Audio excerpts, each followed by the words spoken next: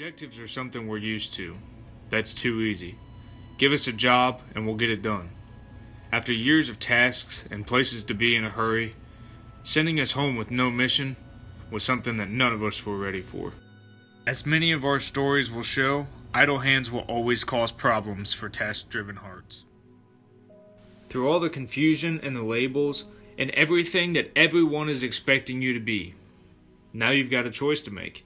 You can cower to it and be exactly what your past and everyone else is saying you're going to be, or it's time for you to create your own next objective.